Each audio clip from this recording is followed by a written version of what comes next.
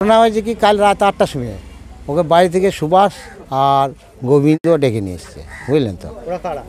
ওরা অন্য লোক এখানকার লোক এই যে মদের ব্যবসা করে।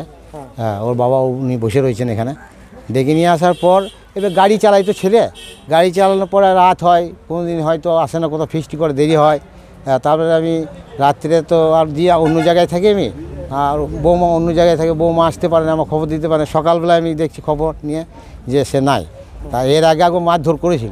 তখন ওই গোবিন্দ বা ইয়ে ওই সুভাষ।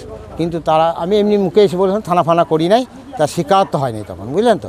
তখন আমাকে আগে ভাঙে বুঝিয়ে এবার ছেলেকে আমি বুঝিয়েছিলাম যে যাস না তোকে মেরে দেবে। তা সকালবেলাতে দেখছি হ্যাঁ তাই হয়েছে। জল কিভাবে- কীভাবে আপনার ছেলেকে দেখতে পান কীভাবে? হ্যাঁ? কীভাবে কি রকম ভাবে দেখতে পান? কি অবস্থায় দেখতে পান আপনার ছেলেকে আজকে সকালে? আজকে সকালে। সকালে? দেখছি জলে পড়ে রয়েছে। আমার মনে হচ্ছে মেরে দিয়েছে। কারা মেরেছে? ওই গোবিন্দ আর সুভাষ। এরা মেরেছে রাজনীতি এখানে মদত ছিল। কেন কি আপনার রাজনীতি মতো ছিল আজকে ধরুন আমরা তৃণমূল করতাম। তৃণমূল করার পর এখন ধরুন সমর্থিত করছি হয়তো ছেলে সমর্থিত করছে না আমি সমর্থিত করছি একটা রাগে এই বিজেপিতে। হ্যাঁ। হ্যাঁ এই রাগে। এখানে একটা সমর্থিত না থাকলে এরা পারে না এই কাজ করতে। বিষয় হচ্ছে আমরা হঠাৎ আজকে দুপুরবেলায় ফোন পেলাম যে আমাদের শ্রীনিধিপুর অঞ্চল সাঁইথিয়া থানা কালুরায়পুর গ্রামের মলয় ঘোষ আমাদের বিজেপির কার্যকর্তা তার বাবা প্রসাদ ঘোষ ইনিও আমাদের বিজেপির কার্যকর্তা এবং কাকা কি নাম? সুভাষ ঘোষ। পুরো পরিবার আমাদের ভারতীয় জনতা পার্টির কার্যকর্তা এবং বিশেষভাবে ওনারা দলের কাজ সংগঠনের কাজ দেখেন।